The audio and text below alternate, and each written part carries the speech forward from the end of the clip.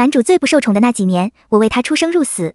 他登基后，却只封我做了末等答应，还警告我：你身份低贱，不要肖想不属于自己的位分。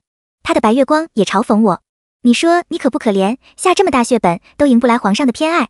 我就不一样了，什么都不用做，皇上就天天宠着我。我面上痛苦，实则心里没一点感觉。他们不知道，我只是被迫绑定了系统，只有为男主受满一百次伤，才能回到原来的世界。而现在，我已经为他受伤九十九次了。方秋莹的生日宴，骆文景召了我们所有人去给他庆贺。宴会开始前，他走上高台坐下，见方秋莹没跟上来，宠溺的朝他招招手：“阿莹，来朕身边坐。”方秋莹似乎就等这句话了，闻言立马盈盈一拜，用所有人都能听见的声音推辞道。皇上身边是后位，臣妾坐上去不合适，要不还是姐姐坐吧。方秋莹说着，抬眸看了我一眼，骆文景也跟着看过来，只一眼，眉头便皱得厉害。他怎么就合适了？皇上登基前只有姐姐一人相伴，姐姐的地位自然非同寻常。如今后位空悬，不就是留给姐姐的吗？空气里默了默，紧接着人人都听见了一声轻嗤。江莲身份低贱，朕封她为答应已经是仁至义尽，怎么可能立她为后？他说着，又朝方秋莹招招手。今日是你生辰，如今后宫嫔妃里你位分又最高。今日你若坐不得这个位置，那便没人能坐了。快快上来，来朕身边。方秋莹本就是故意给我找难堪，目的达到了，他也不再推脱，喜笑颜开的朝高台上走去，甜腻腻的喊了声皇上，您待臣妾真好。骆文景受用的刮了刮他的鼻子，方秋莹立马害羞的朝他怀里钻。下面众人全都眼观鼻，鼻观心，不敢吭声，自然也没人看见。方秋莹冲我得意又挑衅的抬了抬眼。说实话，这已经不是他第一次耍这种把戏了。方秋莹和其他人一样，觉得我陪骆文景度过了最艰苦的几年，在他心里多少是有些不一样的，所以才一直打压我。可惜他不知道，正是因为我陪骆文景出生入死，在他看来，这种付出反而跟吃饭喝水一样寻常。反倒是许多年前他不得宠时，被几个皇子赶到猎场当活靶子，路过的方秋莹丢给他半只烤熟的鹿腿，成了他记忆里弥足珍贵的月光。半只鹿腿顶我为他受九十九次伤，多可笑啊！我正自嘲着，忽然听见骆文景抬高声量喊我：“江莲，阿莹跟你说话呢，你装聋作哑什么？”我抬头就看见方秋莹一脸委屈的埋在他怀里，定是臣妾坐了这个位置，姐姐不高兴了，才故意不理我。骆文景的脸更黑了：“江莲，不要肖想不属于你的东西。阿莹想吃你做的冰酥酪，你速速去小厨房做来。”这么多年，在系统的折磨下，我对他的要求早已变得麻木。闻言，也只是平静的站起来往外走。方秋莹此时又怯怯的开口。独乐乐不如众乐乐，姐姐既然都去做了，不如给在座各位都端一碗呢。我脚步微顿，骆文景已经替我做出决定。不过顺手的事，听见了吗？江莲，小厨房里，我切着花瓣，心不在焉。忽然，刀锋在指尖擦过，我敏锐的察觉到渗出了血，几乎条件反射的把手指凑到眼前。一秒，两秒，终于有鲜红的液体渗出，我一颗心都快跳出嗓子眼，迫不及待的呼唤系统。冰酥酪是洛文景让我做的，我这算不算为他受地？刺伤了，我问完就忐忑的等着答案，时间仿佛被拉成了无限长的细线。半晌，系统讥讽的声音才在我脑海里响起：“当然不算，切个东西都能受伤，这只能算你蠢。”我跳动的心慢慢沉了下来，虽然失落，但并不至于崩溃。几年下来，我早就习惯系统的冷嘲热讽。从绑定我的那一刻起，他似乎就看我极不顺眼。这么久以来，其实我早就为洛文景受够了刺伤。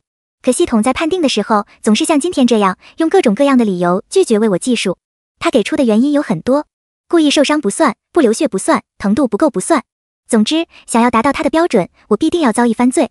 刚开始我还试图跟他理论，可几次非人的折磨后，我逐渐明白，只要系统在我身体里一天，他就是刀俎，我就是鱼肉，我根本没法反抗他。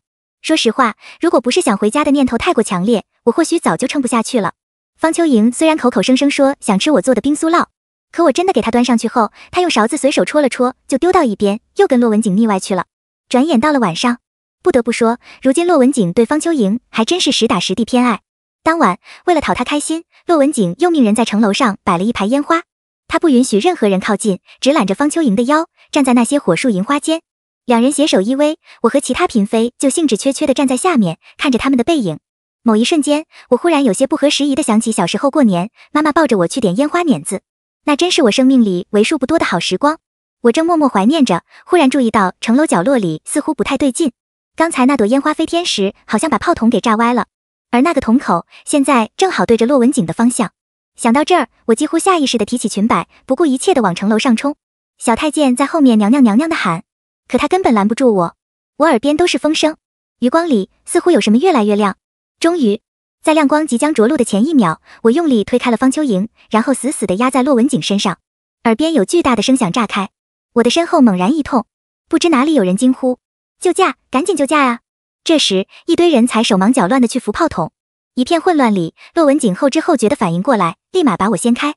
阿莹，阿莹，你不要紧吧？方秋莹刚被我推到了一边，此刻正歪在地上，泪眼汪汪。臣妾的脚好像崴了。江莲，看你干的好事！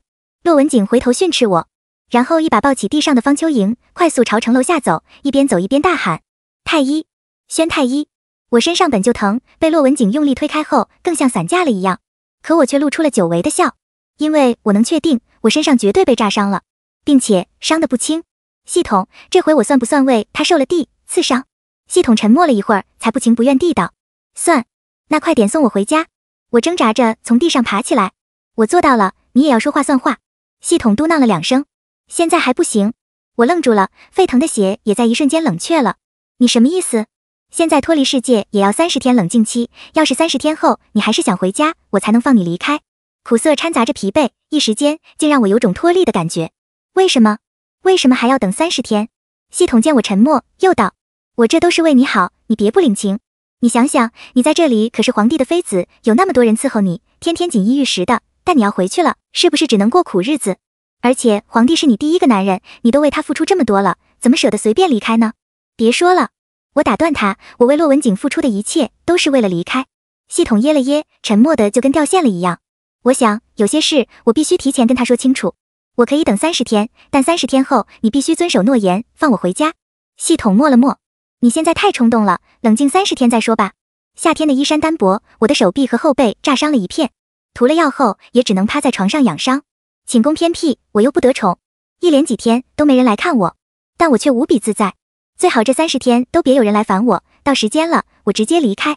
我在心里默默想，只可惜天不遂人愿的真理亘古不变。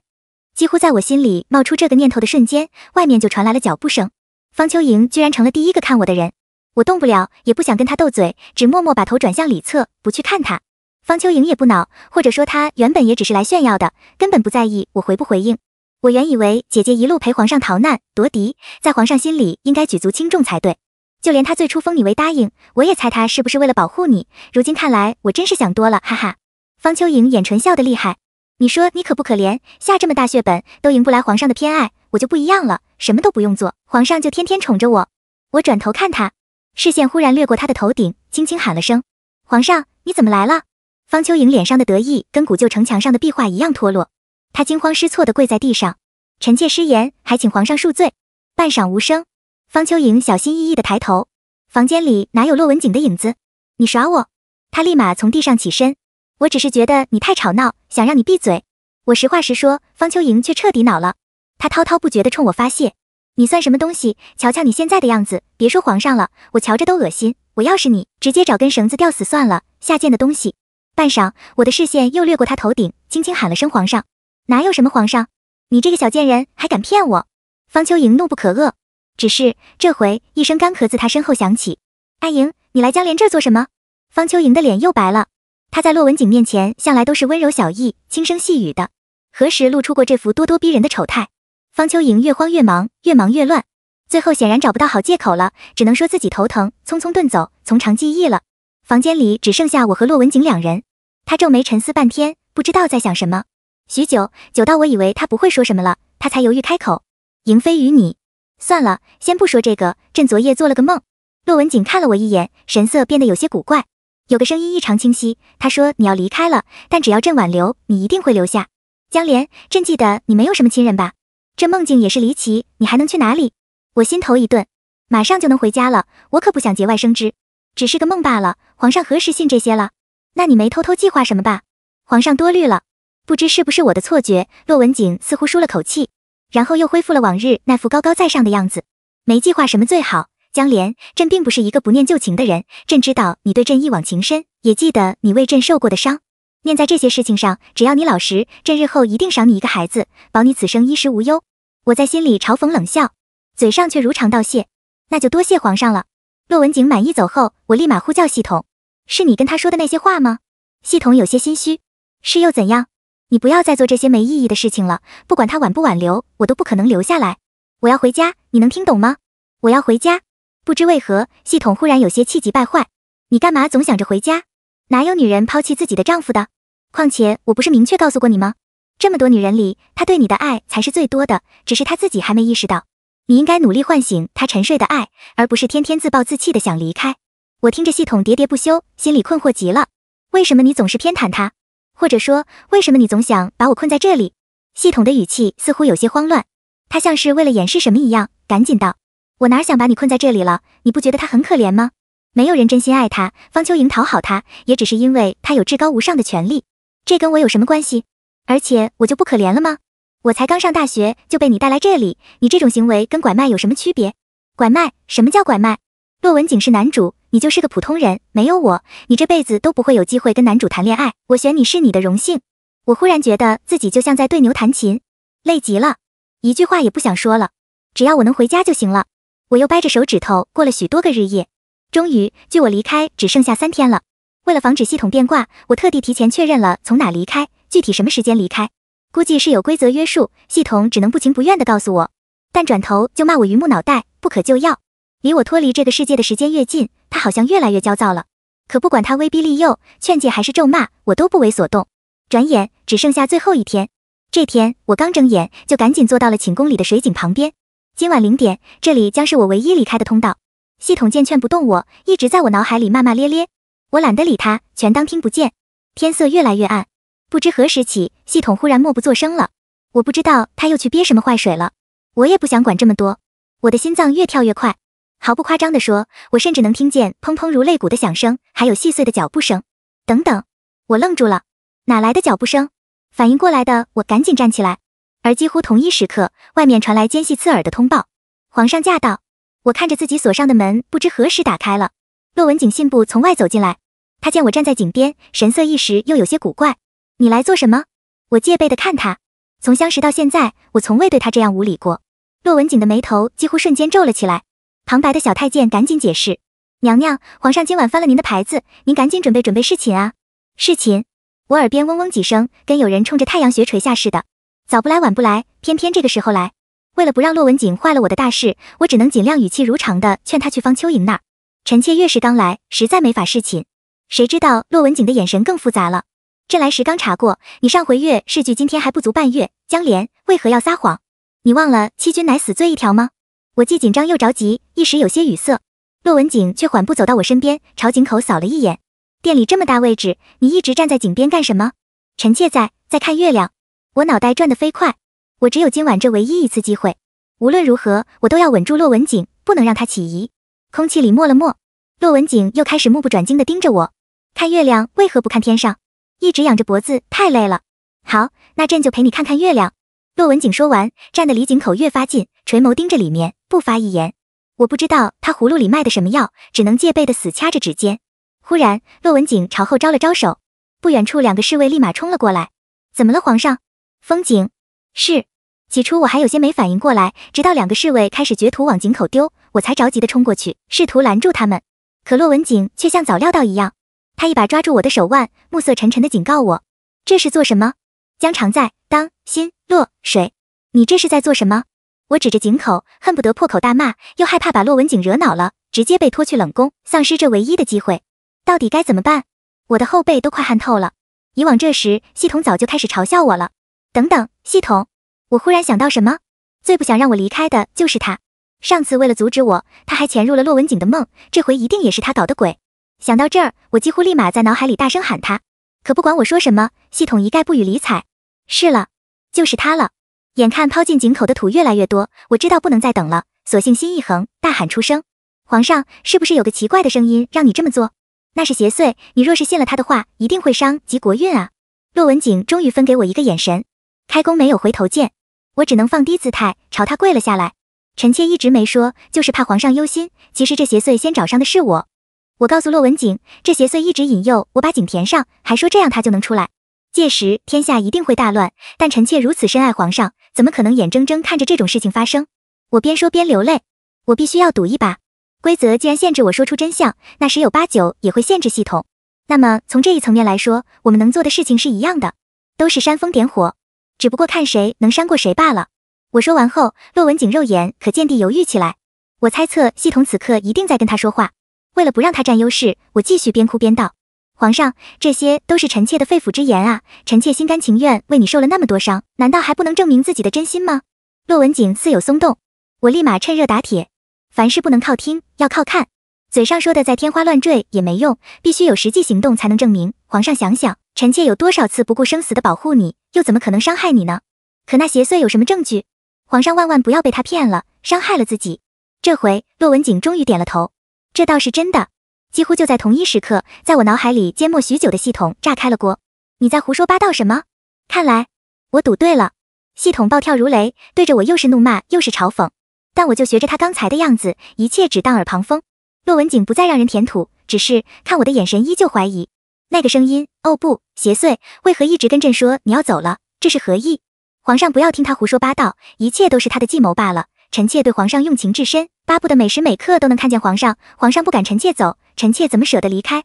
骆文景闻言，估计是想起了那些我冒死保护他的场面，脸色也逐渐缓和起来。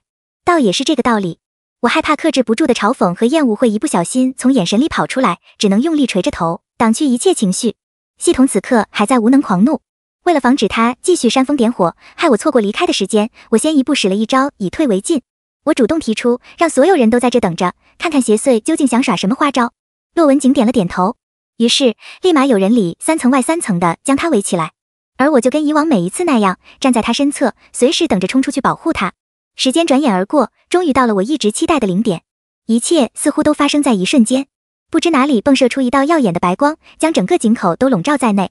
有了邪祟这一说，所有人都瑟缩着不敢上前，而我强压住肋骨般的心跳，拍了拍骆文景的手。皇上，臣妾替你去看看。系统不管不顾的尖叫起来：“别让他去，他想跑啊！拦住他，过了这秒就好了。”骆文景大概被吵得头疼，烦躁的揉了揉耳廓，而我则故作淡定的朝他笑笑：“皇上英明，这邪祟的话半个字都不能信。”我说着又要去看那白光，然而刚走出半步，却被骆文景扯住衣袖：“你……”他的目光里少见地带了丝担忧。我强忍着不耐烦，笑得越发温柔：“皇上放心，臣妾命大着呢。”何曾出过事？就让臣妾去揭开那邪祟的真面目吧。骆文景没动，我竭力克制住颤抖，继续往前走，一步又一步。刚走出人群，我就飞奔起来。骆文景终于察觉出不对劲，大喊着让侍卫抓住我。可最终，他们也只来得及扯下我一片裙角。身后一片嘈杂，我冲着井口猛然跳下。我并没有沉下去，白光在接触到我的身体后，就逐渐凝结成一个透明的圆球，包裹着我，缓缓上升。我看着自己的指尖变得越来越透明，然后是小臂、身体。骆文景的眼神无比慌乱，他的手一次次从透明球体里穿过，却什么也没触摸到。这是怎么回事？江莲，你不是说永远不会离开朕吗？我想大笑，想嘲讽，想把所有的屈辱和愤怒都变成咒骂还给他。可或许是还没完全脱离这个世界的缘故，我依旧没办法说出真相。恶毒的规则制定者让我所有话都湮灭在喉头，最终只能发出一声跟以往一样的“我爱你”。多恶心的规则呀！每一次想说出真相，却只能违心的表白。亮光里，我的身形接近消散。骆文景越发崩溃起来。朕知道，朕明白你的心意。你先别说这些了。你告诉朕，是不是邪祟在搞鬼？朕该怎么救你？江莲，我闭着眼，听着令人厌烦的声音越来越远，无声的翻了个白眼。你知道个屁，臭傻逼！现实世界，醒来后，我在宿舍的床上呆坐了很久。我没想到，内外的时间流速居然相差如此之大。我在异世界九死一生，现实世界里居然才过去了大半天，也幸好只是大半天，心里跟山崩海啸似的。我正努力平复着，手机忽然疯狂震动起来，这种感觉太陌生。好一会儿，我才伸手接了起来。你还知道接电话啊？我以为你死了呢。对面的声音很冲，赶紧来急救中心，你孙阿姨出事了。哦，我下意识应声，纯粹是因为还没清醒。对面却骤然一愣，好半晌才嘟囔道：“又憋什么坏水呢？”答应的这么爽快，上次不还说老死不相往来？他这么一说，我终于后知后觉的想起这人是谁，这不是我生物学上的父亲吗？当初他伙同初恋把我妈气死了，丧礼还没办完，就火急火燎的把初恋母女接进了家。从此后，我就没在这个家里过过一天好日子，尤其是这个继母，天天对我横挑鼻子竖挑眼。不过也算报应，某天这女人从超市回来的路上被一辆卡车撞了，直接成了植物人，再没睁开过眼。那半死不活的状况不是挺稳定的，还能出什么事？我这样想着，翻身下床。我赶到医院的时候，继母已经出气多进气少了，几个医生围着他做急救，而那个我甚至不愿称之为父亲的男人正在外面痛哭流涕。看见我后，他崩溃的冲我发火：“你怎么才来？你他妈是不是就盼着你孙阿姨早点死呢？”我没理他，不是烦，而是因为在一片嘈杂声里，我忽然听见了一道若有似无的、无比熟悉的声音。不对，并不是一道声音，还有一道更加没有感情、机械化、公式化的电子音。为了能听清楚点，我猛然推开男人，顺着声音不断往前，直到死死贴着门边。我听见那声音在哀求：“再给我一次机会吧！”不行，他成功回来了，你就失败了。这是我们一早就说好的事情。那那能不能一命抵一命，让那个小贱人去死？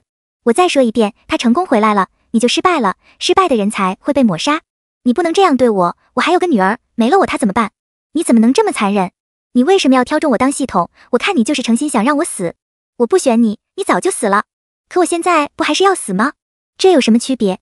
总部给过你机会了，现在的结果是你没用。况且是你自己非要绑定他的。每个人都要为自己的选择付出代价。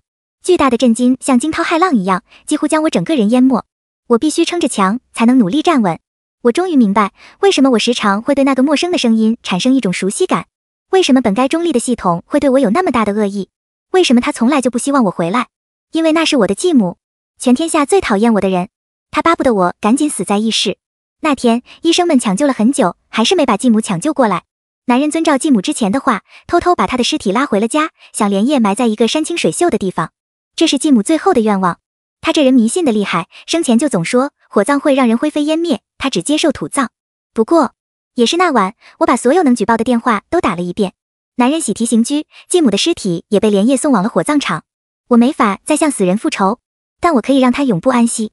三年后，我正式毕业，特地去了一个离出生地两千多公里的地方工作，远离了让人恶心的家庭，我的世界也变得豁然开朗起来。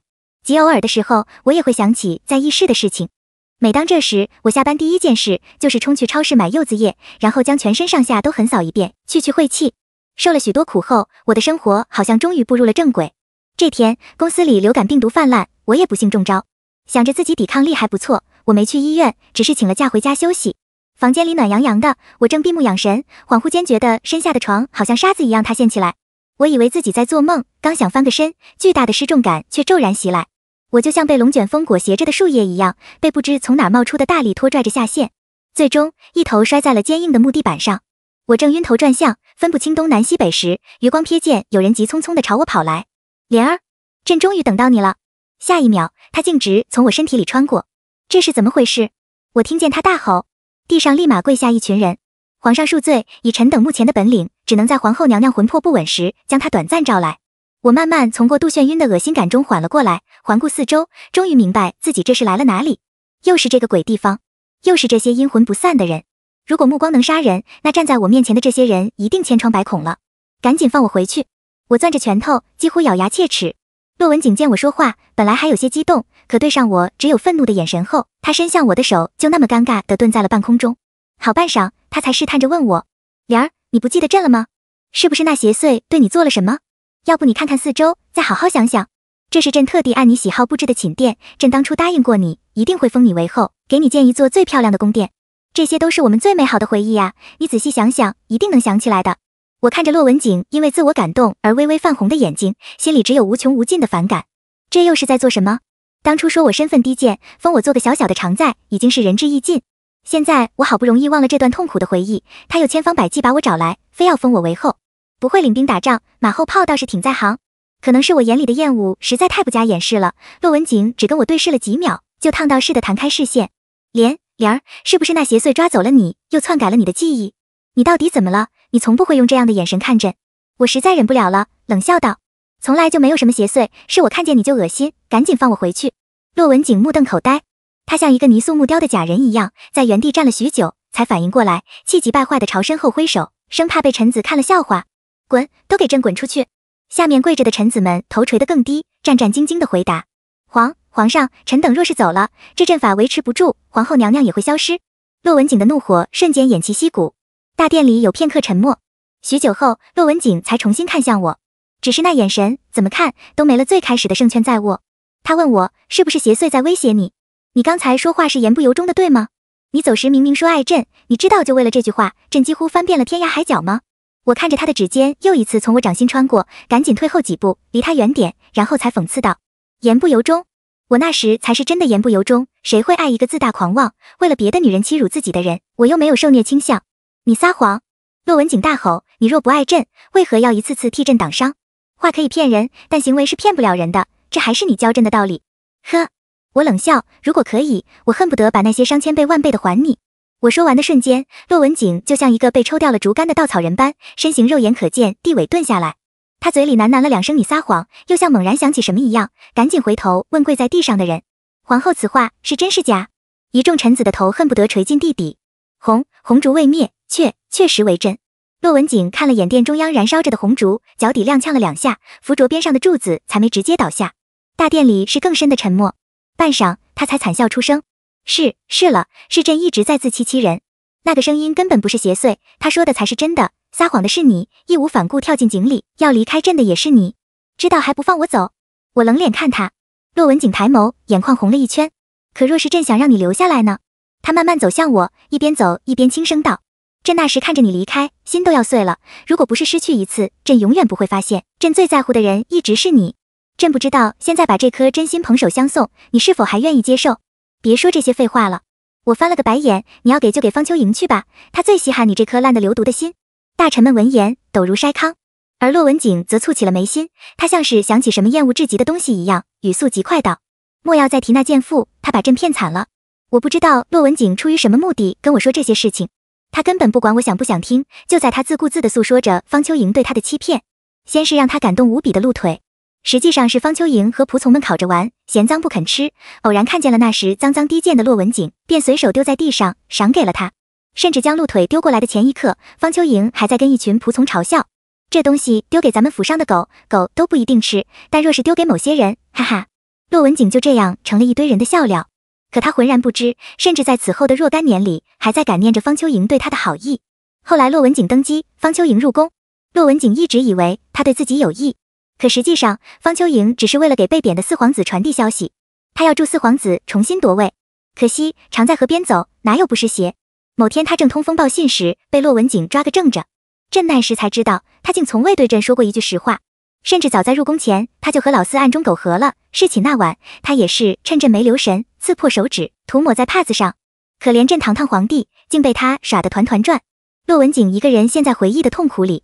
朕早该发现的，那次撞见他冲你发火时，朕就该想到他没那么简单。朕真后悔，当初竟为了这么个贱妇冷落你。不过朕现在已经把他打入冷宫了，你也别介意了，好不好？朕已经知道你不属于这个世界了，但你能为了朕来一次，一定还可以再来第二次、第三次。只要你能回来，朕一定会好好待你，把你宠成全世界最幸福的女人。你想想，不管你去到哪儿，肯定没有在朕身边当皇后尊贵快活，对不对？骆文景滔滔不绝地说完，就期待地看着我。我掀了掀唇角，他以为我要松口，神情略带激动，可我只是在他最期待的时刻，狠狠呸了一声：“你算什么东西？”你以为我很稀罕当你的皇后吗？骆文景的笑缓缓僵在脸上，他机械地回头看了眼地上依旧在摇曳的红烛，忽然有些崩溃。他一脚踢飞蜡烛，大吼着打翻了手边一切东西，又猛然揪起一个臣子的衣领，近乎歇斯底里的喊道：“你们找错了，这不是莲儿，这不是，把那个爱朕的莲儿给找回来。”陈子色缩着看他，那那先把这个娘娘送走。不行！骆文景猛地将人甩在地上，逃一样的夺门而出。我被困住了。不过看店里一群人冷汗直冒的煎熬模样，我知道他们困不了我多久。这些人显然也心知肚明，只是对上我烦躁又厌恶的眼神，他们的神色也有种说不出的复杂。尤其是为首那人，时不时朝我摇头叹气，某一刻居然还苦口婆心的劝起我来：“娘娘就当是黄粱一梦，您给皇上留个念想不行吗？他这几年过得真的很苦，他一直没放弃找您，这跟我有什么关系？”哎，当初您跳进去的那口井，众人下去寻找都无果，数九隆冬，皇上非要亲自下去看才死心。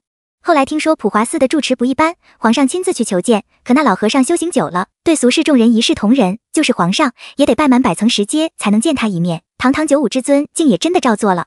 就连那天池水，说是能活死人，肉白骨，皇上也不计代价的找来了。还有那些古籍里的阵啊符啊，但凡能试的，皇上全都试了一遍。您以为我们这些三教九流是如何被聚到一起的？娘娘，若论诚心，在见您这件事上，皇上的所作所为，说是一句精诚所至，金石为开，也不为过了。关我屁事！我越听越烦，你们这群绑架犯，跪舔他还舔上瘾了。我毫不客气，那人一噎，只得悻悻不再言语。傍晚时，骆文景又来了，他拿着一个匣子，在我面前打开，里面是一根血淋淋的银针。他也不看我的表情，只是自顾自解释。朕想了又想，皆因方秋莹那贱妇撒谎，才害得朕一直冤枉你。我们本该有那么多好时光，都因他的阻挠荒废了，所以朕便缝了他的嘴。我只觉得荒谬可笑。话是他说的，可偏听偏信的不是你吗？你为何不割自己的耳朵？朕割了，你就会留下吗？当然不会。是啊，骆文景苦笑，因为他的挑拨，你对朕失望至极了，现在也不敢轻易相信朕的真心了。我只觉得烦得厉害。这跟方秋莹一点关系都没有，我对你不存在失望这回事，因为我从来就没对你有过希望。我不耐烦地说完，忽然发现自己说话时好像没有任何阻碍了。我愣了愣，赶紧试探着说出真相。我来这个世界是因为我继母成了系统，还强行绑定我为宿主。我为了活命，只能顺从的完成他布置的任务，而那些任务就是保护你，你明白吗？我从来就不在乎你，更不会对你感到失望。我不知道骆文景能否听懂，但我实在厌恶他自作多情，强行加戏。不过好在他似乎捕捉到了重点，所以你的意思是，连对朕的好都是你迫不得已？当然，我斩钉截铁。骆文景下意识的往后看，那里是一节重新点燃的蜡烛，红烛未熄，化皆为真。他有些绝望的闭上眼。为何会这样？你好狠的心啊，江莲！你这样说，让朕往后怎么办？边上这时有人怯怯提醒：“皇上，时辰到了，皇后娘娘可能要走了。”骆文景这才深吸一口气，猛然放下挡住眼睛的手，双目猩红，恍若滴血。红烛只能判断当下的真假，朕更愿意相信是这些年发生的事情改变了你的想法，让你负气说出“忧”这些话。你不可能没有爱过朕，更不可能被迫的一次次救朕。江莲，朕很后悔没有早点珍惜你。不管你信不信，从你走后，朕才真正明白了自己的心意。这或许就跟吃饭就寝一样，明明很重要，但在拥有时却总是习以为常。可人不能不吃饭，也不能不就寝，真被剥夺了这两项权利，才会发现自己有多生不如死。